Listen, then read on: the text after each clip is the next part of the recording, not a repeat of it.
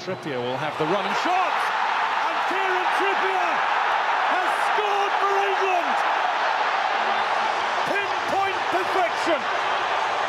for England! Pinpoint perfection! In the game of their lives, it's the start of dreams.